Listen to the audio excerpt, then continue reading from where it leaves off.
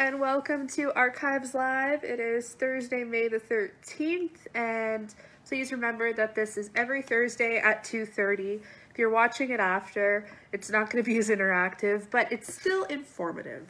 Um, if you have never come and joined us for Archives Live, let me explain what it is basically you are making the choice of what local history we're looking at today, which can be anything from business, organization, crime, anything like that, that we could be looking at by your choices. And how, you might ask? Well, you need to choose a number between 1 and 10 that'll decipher which cabinet we're going into. After that, I'll ask you to choose another number. That'll tell us what file, and then we go from there.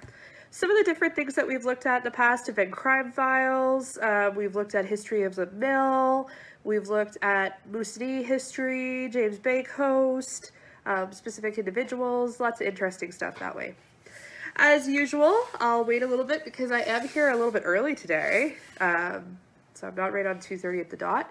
Um, if you are interested in submitting an archives request, you can do that a few different ways. And while I'm letting you pick your number between 1 and 10 and put that in the comment box, I'll start going over those ways. You can submit a request to us by emailing us directly at library at cochraneontario.com. You can email me directly, A-R-D-I-S, at cochraneontario.com. Give us a call, 705-272-4178. Or you can visit our website, www.cochranepubliclibrary.com Click on the Services tab, go to Archives, and you will have all the information there on how to submit archives requests. Uh, I have quite a few right now, and I've got a lot done today. Hopefully we'll get caught up with everybody's. So thank you very much again for being patient with us. We do appreciate it. Um, I say us a lot of times, but it's me down here in the basement. So thank you for being very patient. I appreciate it. If you have a number between 1 and 10, go ahead and throw that down in the comment box to the side wherever it is located for you, and that'll tell us what cabinet we're going in today. Yay!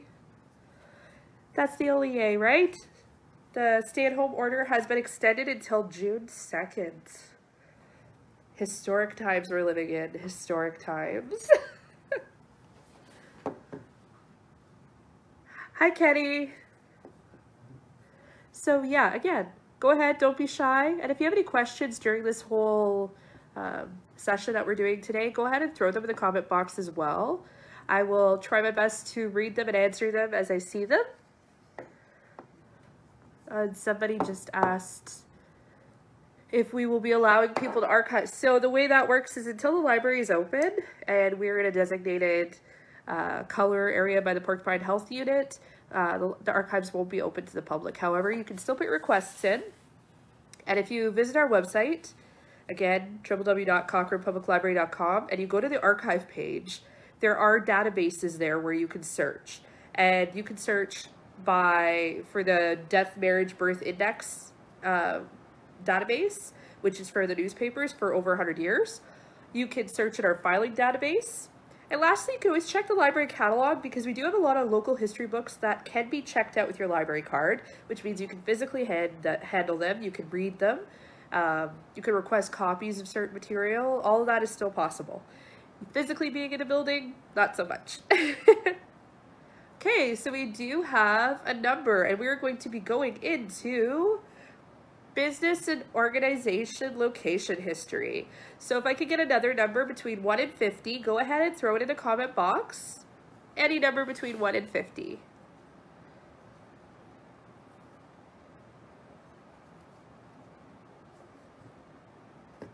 Hi, Jamie. And something really interesting, if you're interested in these videos, you don't have to just watch them now on Facebook because not everybody has Facebook. We are now on YouTube, so all of the archives live videos for 2021 are now on YouTube. As soon as we have enough subscribers, we might start going live from YouTube instead of Facebook, but for now, this is where we are. okay, I've got a number, so bear with me while I go get that file.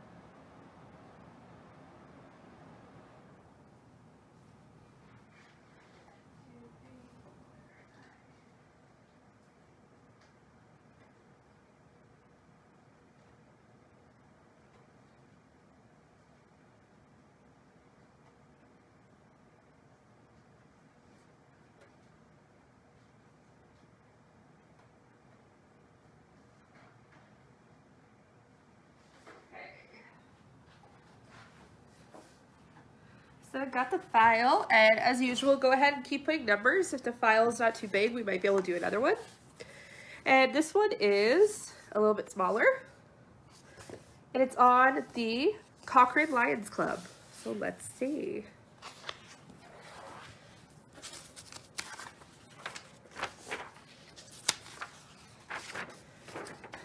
Okay, it says Cochrane Lion Finley Barr makes a donation to Brenda Cisco, Red Cross supervisor. The donation was for the Red Cross Homemaking, which is a long, uh, which is a local nonprofit organization providing Alzheimer respite programs in Cochrane.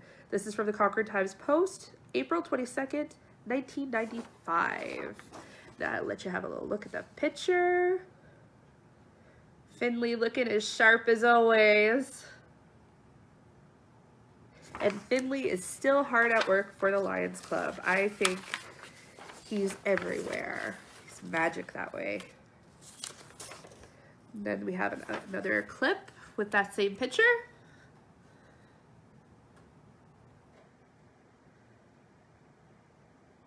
Very cool. Okay. And then we've got Cochrane Lions Club in action. This is from the Cochrane Times, Saturday, January 7th, 1995. And it says, Bill Mitchell and Jack Ratcliffe, Jack Ratcliffe leaf through the scrapbook of photos and newspaper articles of all the good works that the Lions Club of Cochrane have accomplished. A great deal of effort by the members for the community fills these pages with pride and good tidings and good feelings for the work that is appreciated and supported by the community. And uh, there's some Mr. Mitchell and Jack Ratcliffe.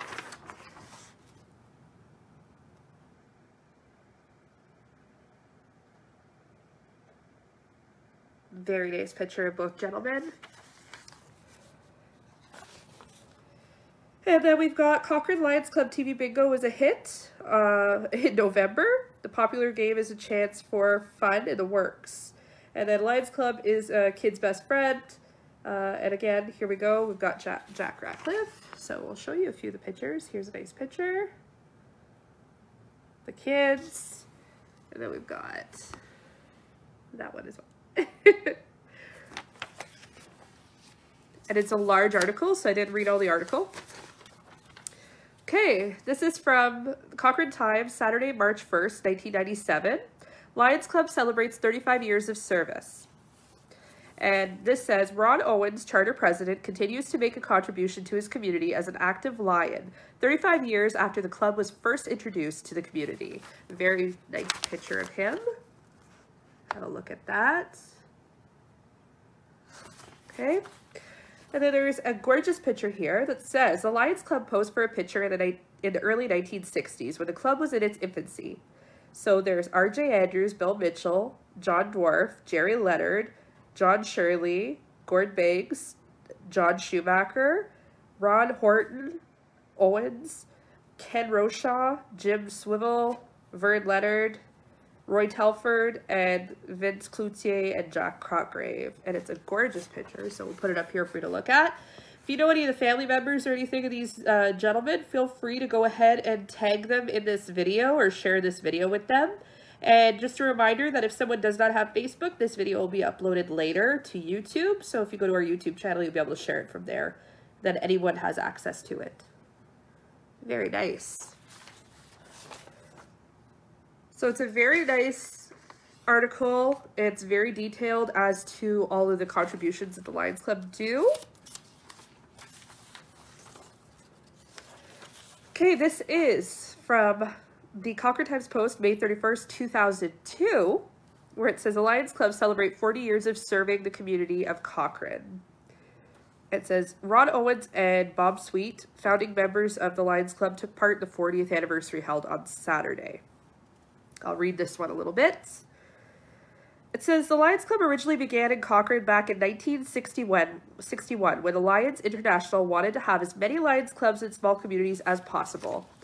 The local people of Kapuskasing and the district governor at the time wanted to get Cochrane into the club, commented one of the founding members, Ron Owens.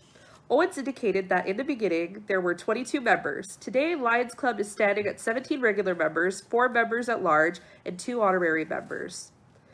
They are Ron Owens, Bill Mitchell, Roy Telford, Vince Cloutier, Finley Barr, Peter Picard, Victor Brett, Jim uh, Riddle, Richard Worrell, Gary Beacock, Richard Moore, Bill Bell, Jerry R Robichaux, uh, Mamie Dr Gage, Don Pepin, and Ralph Johnson.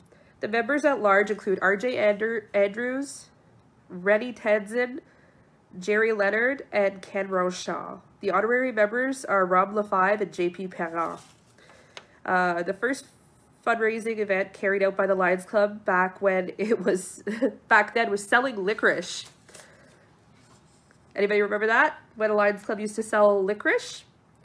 We went door to door and sold bo boxes of licorice. We sold them for a dollar a box. We made 50 cents profit. It was fundraising, but not fun raising it, commented Owens. The Lions Club has continued to remain visible and active in the community. You may recall the yearly event, the Christmas Telethon, which enabled the Lions Club, along with the support of the community, to help make Christmas a little brighter for those fortunate, less fortunate. In the past few years, the Lions Club, along with the Cochrane Food Bank, have joined together ensuring needy families have a memorable Christmas. Another popular event conjured up by the Lions Club was the Ontario Northland Santa Express. This event brought the community together for children for a small fee. The Lions Club requested a donation to the food bank for a ride. To this date, over 300 children ride the train to pick up Santa, to pick up Santa. Each summer, the Lions Club hosts a picnic for seniors, which has been held over the last few years at the Memorial Park. Another long-time service to the community is a yearly visit from the I-Van. When it first started, it only came for a week. Now we have it for two weeks. More and more people are using it, and perhaps next it will be in Cochrane for three weeks, Owens remarked. As well, the Lions continue to collect eyeglasses for these could be dropped off at Vince's. Now they can be dropped off at the library. Um, those who attended the annual Torchlight Parade during the carnival can thank the Lions Club, who for years provided free hot chocolate and hot dogs for the kids. This small club has provided financial assistance to Hillcrest Park, the bandstand, and countless donations to individuals in the community requiring, requiring, requiring wheelchairs, scooters, and other needed supplies. These events and donations would not have been possible without the support of the community. Excuse me. Uh, with weekly televised bingo, the largest fundraiser for the Lions Club, all the money raised throughout the year at the bingos goes back into the community, said Owens. The Lions meet only twice a month, and for the last 40 years have enjoyed a meal prior to their meeting. During their meeting, they're always seeking out areas to assist.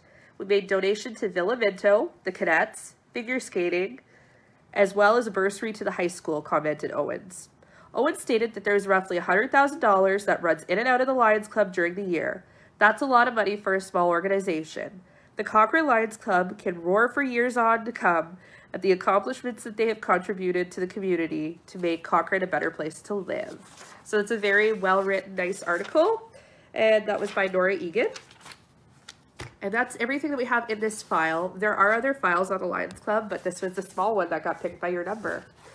Something worth mentioning for the Lions Club as well is they do a lot of other things uh, now, because that's from 2002. They do spring cleanup. Um, they're really advocating for families that are in need or individuals that are in need.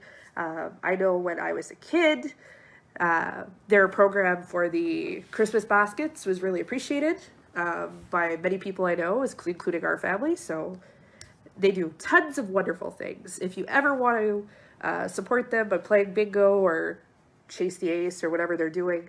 Definitely a worthwhile cause. Um, okay, now we have one special little thing for you today, aside from this.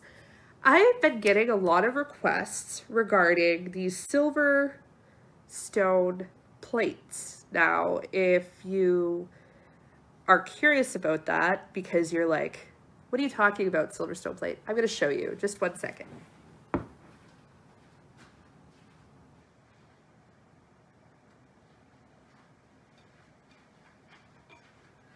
Okay. This one I found at a yard sale long ago, a few years back. Um, and I had to get it for archives. And it's not in the bestest of shape. It's got a chip and it's been glued back together because it cracked at some point. But I had to save it. So It's going to be inverted. It's from 1929, this one. And it's the 1929 calendar that's listed around the plate. Okay. And these were, these are durable. They're not like the plates we get today that are just like whatever. Um, and it says on it, compliments of M. Silverstone, Cochrane, Ontario. And quite a few people have been curious as to who was M. Silverstone? Silverstone, who is that? Silverstone actually had um, a clothing store, men's clothing, and uh, later on ladies' clothing in about 1928. And they used to give these out as uh, kind of a token of appreciation around the holidays. And there's tons of them. If you want to see tons of great pictures of these plates from other years, and they're in different shapes, square, and they're they're very nice. You can check out the Cochrane Past and Present group. Uh, they have a lot of beautiful photos. I think there's one from 1936, um, and the plate is more like square, and but they're still beautiful. And again, they're compliments of M Silverstone. So that's just something I wanted to mention because I got a lot of requests as to who was M Silverstone. Um, the clothing store was on 6th Avenue. And uh, we do have a little file that's in progress on the history of that. Uh, there was also dry, the dry goods store. So back in Cochrane history, a lot of times people didn't sell one thing. They would sell multiple things or they had family members that sold, they had different stores that were in proximity. And that's always a challenge trying to figure out where people were. Lots of great historians out there that are uh, wealth of knowledge and we're always appreciative of all the hard work and all the information that they give us here at the archives that help us to kind of hone in and figure out some of these little mystery things. So again, that's where these plates are from, is from that store as a complimentary thing during the holidays they would give them out. Um, there are some of them have gone as far as England, Scotland, and that's awesome that the fact that they're still around. They're a beautiful collector's place, uh, piece. We have a few other plates, but they're not like these. Um, we don't generally make it a habit to actually collect pieces like this. The Heritage Village was doing that for a time where they would collect different artifacts. Uh, we generally just do records because we are an archive, not a museum. There's the difference, but every once in a while something sneaks in that can look pretty on a cabinet, and I saved it, so um, yeah, that's a little bit of random history for you. I hope you have a great weekend. You're safe. And again, if you have any questions or archival requests, you can submit them in a few different ways. You can email us directly, library at cochraneontario.com. Ontario is a full word. You can email me, Ardis, A-R-D-I-S, at cochraneontario.com. You can Call us if that's easier for you, 705-272-4178. Lastly, you can visit our website, www.cochranepubliclibrary.com. Make sure it's .com, not .ca, or you're going to Alberta. So .com. You're going to click on the Services tab and then go to Archives. All the information there on what you can request, different methods of requesting it, it's all available. Uh, we do appreciate donations to the to the archives specifically, if you are able to. If not, that's okay. We're, we're here for to aid the public in any way we can. I think that's it. So thank you again for joining us. These will be uploaded. This episode will be uploaded to YouTube. So again, if you want to watch it later or share it with someone, you can do it from there or even here on Facebook. Okay, see you soon guys. Bye.